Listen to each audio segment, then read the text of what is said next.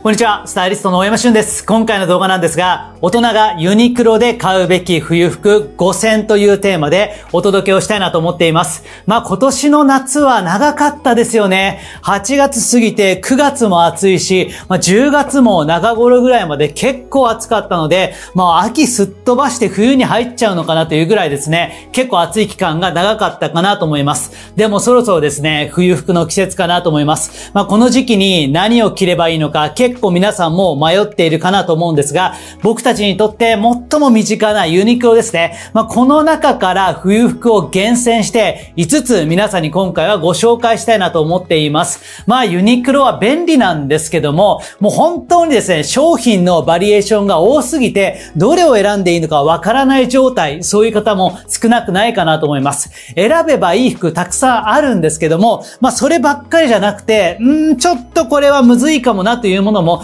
やっぱりそれだけたくさん服が多いと、引き当てる可能性もどうしても上がってしまうんですね。ですので今回はピンポイントで、この5つ持っとけば結構ユニコの冬服は間違いないかなというものをピックアップしましたので、まあよかったら最後までお付き合いいただければなと思っています。おしゃれをするにはある程度お金をかけなくちゃいけないっていうのも、まあ確かに合ってる部分もあれば、実はそうじゃないところもあって、まあユニクロだけでも十分におしゃれを楽しむことができると思いますし、ファーストステップとしてはすごくユニクロ便利なお店かなと思うので、存分に使い倒していきたいなと思います。こちらのチャンネルでは大人男性に向けて、メンツファッションの基本、なるべくわかりやすく解説をしていますので、よかったらチャンネル登録やグッドボタンの方もよろしくお願いします。それでは早速、行ってみましょう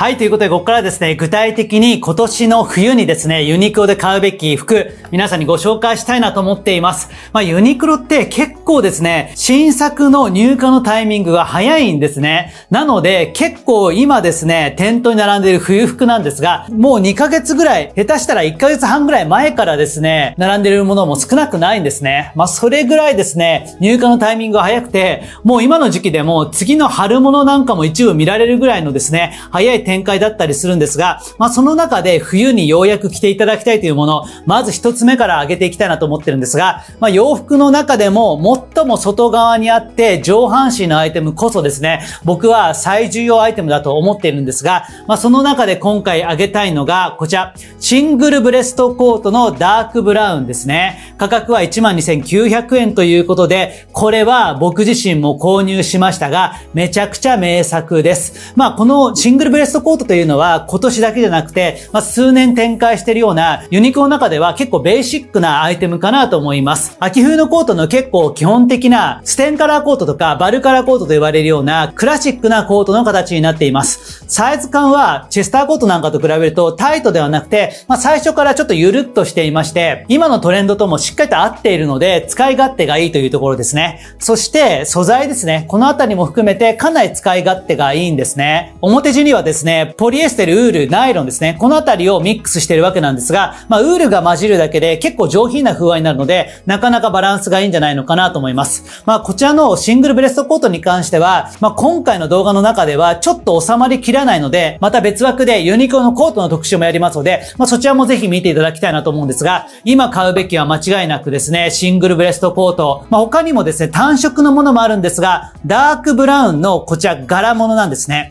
細かな千鳥格子の入っているこちらがもう断然一押しです。茶が持っている、こう、クラシックで温かみがあるんだけども、失敗するとおじさんっぽく見えるというですね、危うさ。このあたりをですね、しっかりとカバーしながら、大人が来ても上品な雰囲気がちゃんとですね、出せるので、これはかなりの仕上がりかなと思います。まあ、ユニクロにはコートいろいろと名作があって、チェスターコートもあったりするんですが、まあ、そのあたりの比較ですね。こういった方にはチェスターが向いていて、まあ、こういった方にとか、こういったシチュエーションではチェスターコートが良くて、逆にシングルブレストコートはこんな方に似合って、こういった体型の方にもハマるよというところは、また別の動画でしっかりと解説しているので、そちらを見ていただきたいなと思うんですが、まあすごく仕上がりがいいので、今年ユニクロで買うべきコートとしては、まあ第一にこちらをチェックしていただければなと思うので、まず一つ目、シングルブレストコート。ぜひ皆さんもチェックしていただきたいなと思っています。はい、続いて二つ目のアイテムなんですけども、秋冬のアウターといえばコート系ですね。これが綺麗めなアイテムという立ち位置で、もう一つカジュアルにサクッと着れて、まあ、最大限の暖かさを担保できるのがこちらですね。ダウンなんですけども、これもいろんなバリエーションありますが、ユニクロの中でここ数年選ぶべきものとしたら、こちらですね。ハイブリッドダウンパーカー 3D カットですね。これがもう間違いのない名作かなと思います。まあ、昨年も動画の中でご紹介しましたが、まあ、こちらがですね、従来のダウンと比べると表面がツルッとしてるんですね。いわゆるダウンといえばこうボコッボコッとですね、凹凸感があるような、あのミシュランのですね、キャラクターのようなシルエットと、あとは凹凸感、あの感じがですね、ダウンのイメージかなと思うんですが、まあそういったところがなくてですね、ツルッとしていて、もうナイロンジャケットとかマウンテンパーカーのその延長線上にあるような上品でスポーティーな見た目のものですね。まあシャープなんですよ。なのでこれがですね、大人の男性にも非常常にシルエットも含めて使い勝手がいいんじゃないのかなと思っています。で、ハイブリッドダウンパーカーということで、これはダウンと中綿をうまくミックスしたような、そんな一着になってるんですね。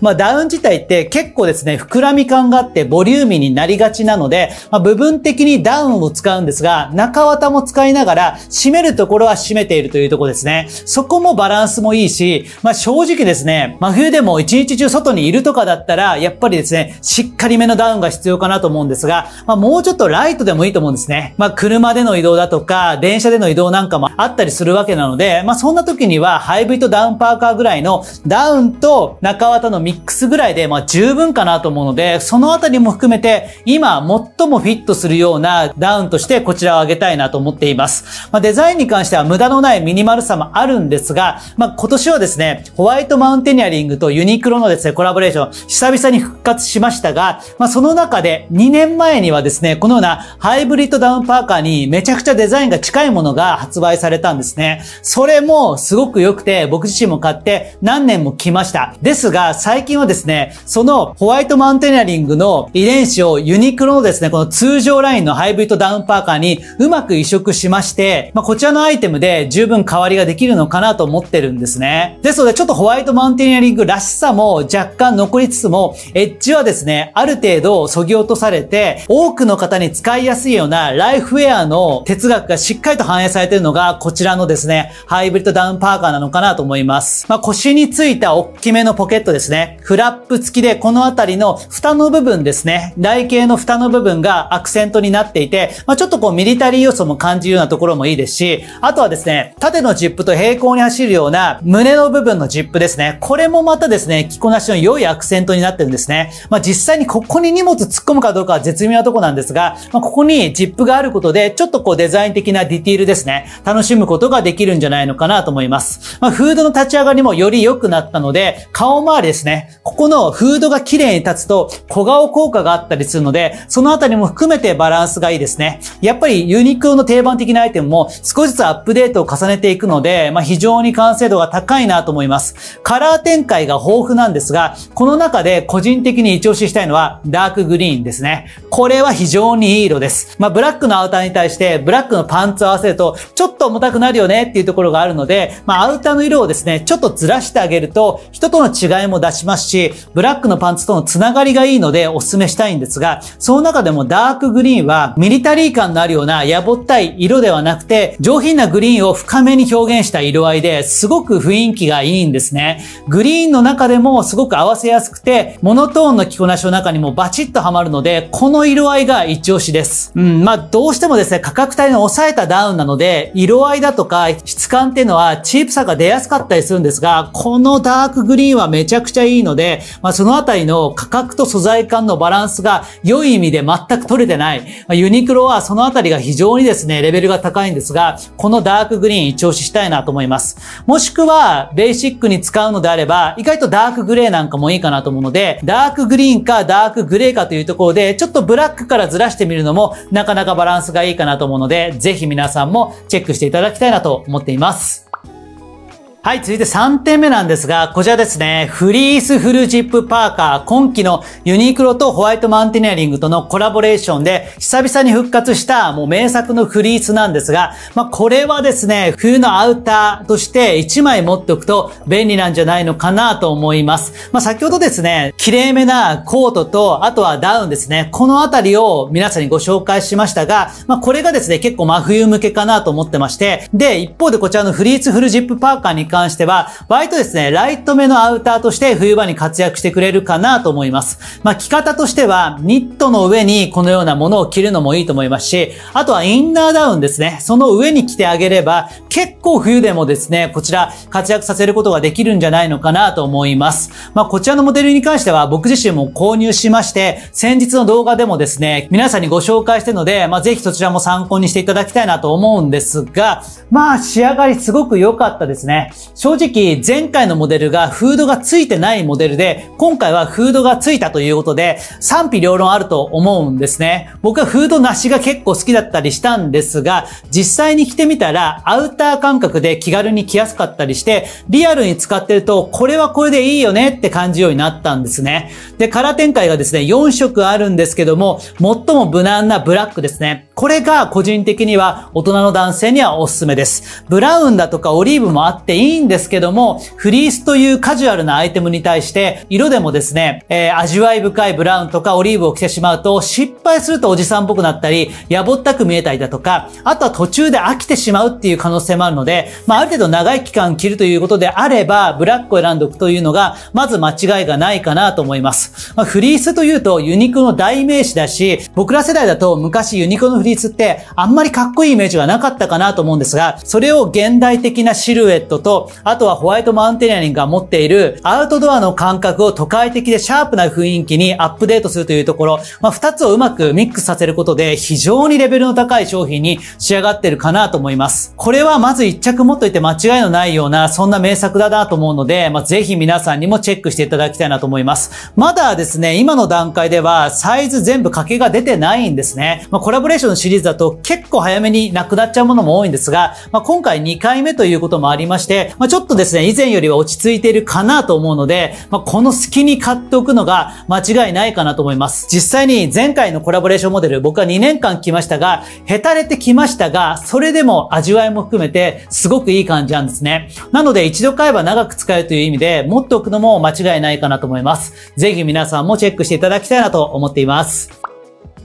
はい、続いて4点目の冬服なんですが、こちらですね。3D スフレヤーンモックネックセーター、カッコ長袖ですね。価格は3990円ということで、さすがのユニクロ価格になっています。まあ、先ほどまでですね、アウターだとか、あとはフリースに関しては、まあ、アウターとトップスの間ぐらいの感じかなと思うんですが、まあ、内側に着るものとして、やっぱり秋冬に欠かせないのは、このようなニットかなと思います。あとは、スウェットトレーナーみたいなものもあるし、フード付きのパーカーみたいなものもあるんですが、やはり1枚で着てもしっかりと大人見えするというところでは、まあ、ニットが間違いのない選択かなと思うんですね。で、ユニクロの中にもいろんな選択肢がありますが、特にこれから冬を迎えるにあたっては、モックネック型ですね。この襟元が少し高さがあって、温かみが出るようなニットですね。これが使い勝手がいいかなと思います。まあ、スフレヤンというのは、ここ数年ですね、ユニクロの定番的な立ち位置になりましたが、スフレのように柔らかさを感じるようなですね、風合いがすごく魅力的な商品なんですんですけども、結構ニットって人によってはチクチク感が嫌だという方もいらっしゃるかなと思うんですが、そのあたりのストレスがほとんどないんですね。まあ、僕自身も昨年かな、スフレヤーンのニットは買いましたが、着心地がすごく良かったです。ソフトでチクチクしないし、なおかつストレッチ性も高いので、動きやすさも含めてすごく使い勝手がいいんですね。で、厚みに関しては中肉厚ですね。薄すぎず厚すぎずということで、まさに中間着として役立つんですね。さすがにこの上にですね、ジャケット級というのはやや無理があるかなとは思うんですが、例えば先ほどご紹介したようなシングルブレストコートに合わせてみたいだとか、あとはですね、ハイブリッドダウンパーカーにも合いますし、フリースの内側にも合わせることができるので、今回ご紹介するアウター系の内側には間違いなく活躍してくれるのが、このニットかなと思います。で、このような丸首のニット系のものって、襟元のフィット感ですね。ここが結構緩いものだと、だらしなく見えてしまうんですね。なので、個人的ににはしっかりと襟元の締まってるものが好きだったりするんですが、まあ、モックネックということで少し高さがあるんですね。で、通常の丸首に比べると首元のフィット感も高まってるので、そのあたりも上品に見えるポイントかなと思います。まあ、サイズ感はベーシックで、そこまでこうゆったりとした感じではないので、まあ、選ぶ際には定番的なご自身のサイズか、もしくはワンサイズ上げてもらってもいいんじゃないのかなと思っています。まあ、ホールガーメントということで、一着ずつ丸ごと編み上げているような特殊な製法で作られているわけなんですが、まあ、このあたりの利点っていうのは着ていて、すごいなめちゃくちゃホールガーメントの良さ出てるなって感じることは個人的にはあんまりないんですね。すごく着やすくて良いものではあるんだけども、そこが圧倒的な違いになってるかっていうと、僕の中では、まあ、満足度は高まるんですけども、ものすごい違いがわかるかというと、そうでもなかったりするんですが、まあ、完成度は非常に高いニットなので、この価格で買えるのはいずれにしても驚きかなと思います。カラー展開5色になってるんですが、その中でおすすめしたいのが、まあ、華やかで明るさの出るような01のオフホワイトですね。これだったら、アウターが濃い色であっても、パッとですね、内側が明るい印象になるので、まあ、すごく使いやすいかなと思います。もしくは、ブラウンですね。こちらもですね、ベージュをもう少しコクを出したような、ベージュとブラウンの間ぐらいの色合いですごく上品に見えるんですね。まあ、これに対しての、先ほどのブラウンのコート、グラデーションで合わせるのもいいと思いますし、オリーブのアウターとも相性がいいかなと思うので、これまたいい色だなと思います。まあ、この2色がベーシックなカラーで、もう大胆にレッドなんかを着ていただくのも意外とバランスが良くて、黒のコートの内側に入れたりだとか、ブラウンのシングルブレストコートの内側にこのレッドのニットというのも意外とですね、年齢40代以上の方ですね、特に50代以上の方とかは結構華やかな色が似合ったりするので、レッドもなかなかいいんじゃないのかなと思います。価格帯も抑えめなので、ちょっと色も含めて遊んでみるのもいいかなと思うので、ぜひ皆さんもチェックをしていただきたいなと思っています。はい、続いてラスト5点目はボトムスいってみたいなと思います。タックワイドパンツのブラシとツイルバージョンですね。これはですね、ちょっと僕の中では失敗したなと思う点がありまして、まあお店で実際に見てですね、色の質感だとか素材の雰囲気めちゃくちゃ良くて、買っときゃよかったなと思ったんですね。特にですね、37番のブラウンが上品なんですよ。ブラック系のアウターに対して、ちょっとこう、秋らしい雰囲気だとか、季節感出すには、ブラウンのボトムスですね。色もですね、ブラウンの中でも深めで上品なので、やぼったく見えないんですよね。ワイドパンツなんだけども、ユニクロのタックワイドパンツって、ちゃんとですね、センタープレスも効いてるし、太すぎないので、割とですね、大人男性にも似合うような、だらしなく見えないようなですね、シルエットになってるんですね。このブラウンなんですけども、まあ今オンラインではですね、僕の適正サイズの XS がもう完売しちゃってるんですよね。これは早めに買っとけよかったなとですね、出遅れを後悔してるわけなんですが、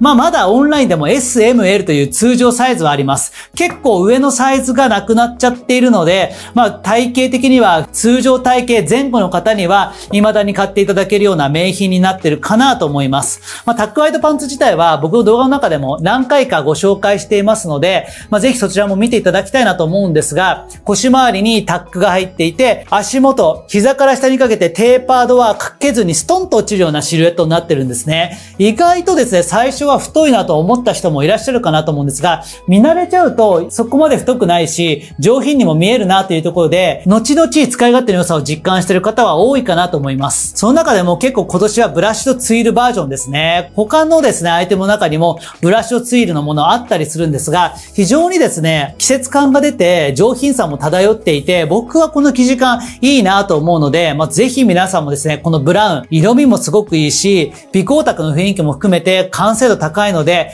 チェックしていただきたいなと思います。もちろんですね、秋冬バージョンのボトムスとして、ブラックを選んでもらって、ちょっと起毛感のある雰囲気を楽しむのもいいと思いますし、あとはですね、グレーもなかなかいいんですよね。まあ、ミディアムグレーぐらいの色合いで、これまたブラック系のアウターなんかに合わせてもらっても上品かなと思うので、結構どの色もおすすめかなと思います。ただ第一希望はブラウンですね。ブラックを持ってる方とかグレーを持ってる方も結構いらっしゃるかなと思うんですが、ブラウンはなかなか良い色のものがないんですよ。で、失敗するとやぼったく見えるので、通常はあまりおすすめしないんですが、このタックワイドパンツのブラッシュをツイルバージョンはすごくいい色なので、まあ、サイズが合う方はぜひチェックしていただきたいなと思っています。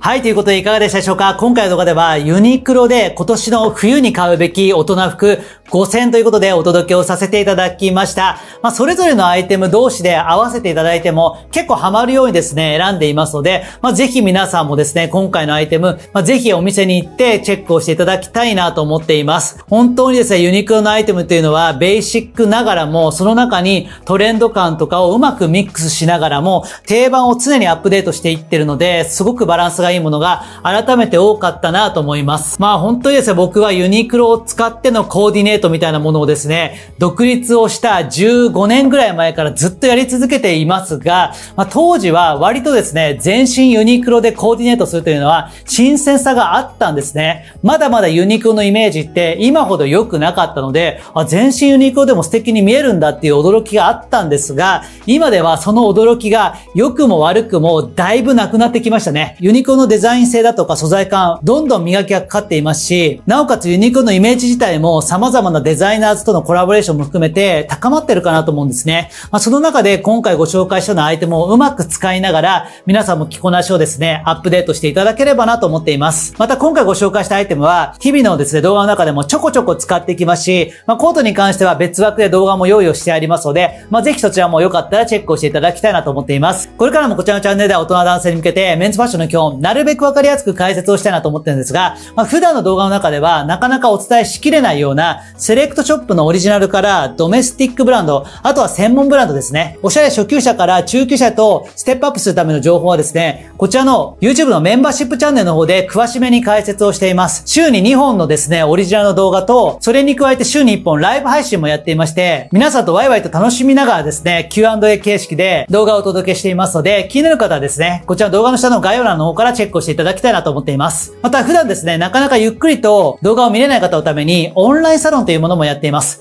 まあ、こちらの方では、動画ではなくて、文章と写真ベースでおすすめのアイテムですとか、コーディネートの解説を、えー、毎日配信をしています。僕自身も記事を書いていますし、僕以外のスタイリストだとか、専門家の人もですね、記事を書いてくれています。また、参加者の皆さんも気軽に記事を書くことができまして、おしゃれが好きな男性が集まって楽しめるようなコミュニティになってますので、こちらも気になる方はですね、概要欄の方からチェックをしていただきたいなと思っています。以上、スタイリストの大山俊でした。また次回の動画もお楽しみに。